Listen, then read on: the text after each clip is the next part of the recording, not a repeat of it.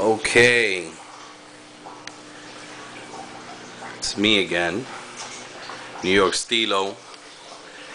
Showing you my RO unit and my 44 gallon Rubbermaid um, saltwater mixing container.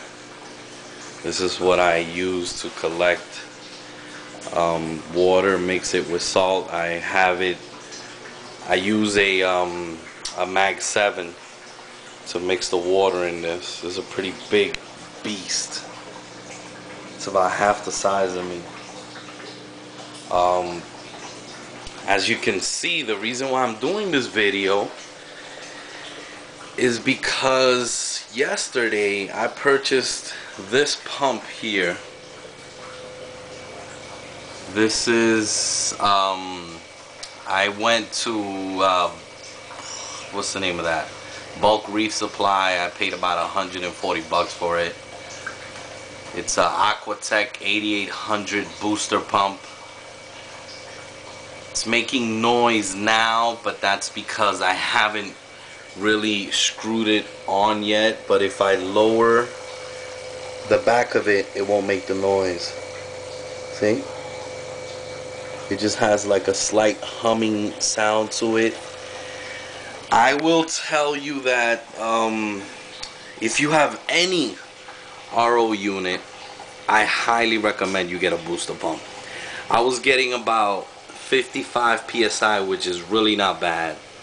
I live in a house, so the pressure is uh, 55 psi into the unit, but with this pump, I'm getting 90 and that's after I adjusted it to lower the pressure. Um, from 100 I lowered it. I can actually raise it up to 120 psi but I lowered it to 90 and I'm still pushing it because this unit which is the SpectraPure Max Cap 90 gallon per day unit according to the recommendations, I called them up and I told them I was getting 100 psi. And they told me that I should tone it down a little because uh, under the warranty, the unit will only be covered under warranty if it's running from 40 to 80 psi. So I asked the guy, but will it affect the membrane if I run uh, the unit at 100 psi? He said it won't affect the membrane but due to the pressure I could crack the housing.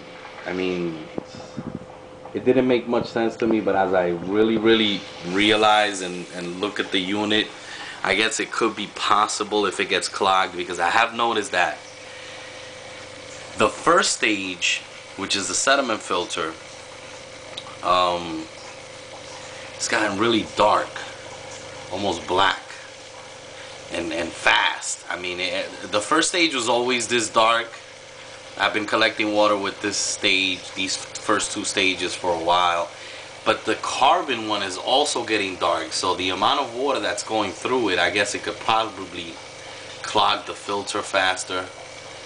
Um, the way this filter works is um, you got the first stage, the sediment filter, then the carbon, then it goes up into the RO membrane then back down into these two DI resins. And um, it's got the yellow line which is the, the waste water and then the blue one which is the product water. Uh, you can hear it. It's collecting a lot of water. This is basically about five minutes worth of water already on a 44 gallon tub. Um, before I purchased the pump, it would take me approximately, I would say, it would take me approximately 18 hours to fill this up, no lie. So I was not getting the 90 gallons per day that is advertised on the unit um, there's a lot of variables that come into play when you talk about ROs and RO units. Basically, they usually advertise the unit to be 90 gallons per day, but it would be 90 gallons per day if you had a PSI, which is pressure per square inch or something like that.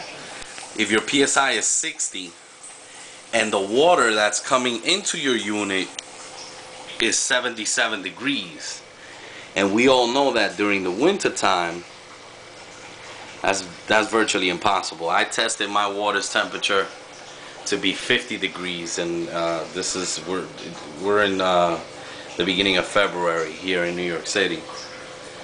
Even at in the summertime, the water comes out. There's no way that you're gonna get 77 degrees coming in through the unit. But with this pump, like I said, I'm loving this. I'm loving it. I'm producing water twice as fast as I was producing before and I'm very very happy with it.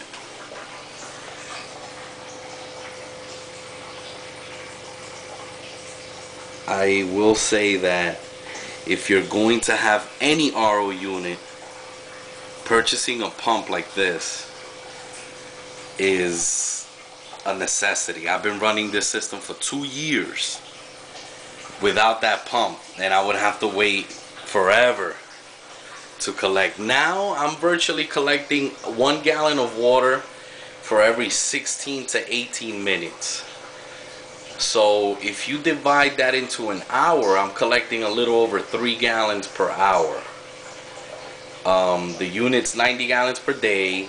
If you, day meaning 24 hours, if you divide 90 into 24 hours, I should be producing 3.75 gallons per day. I mean, um, excuse me, for hour per hour. So that would be the equivalent to 90 gallons per day. Um, I'm producing about three and a half gallons per hour. So with this pump, I boosted it up to 90 gallons per day. Highly recommend it. If you have any questions or comments about the pump, plumbing, whatever, uh, hit me up on YouTube. And till next time, thank you for watching.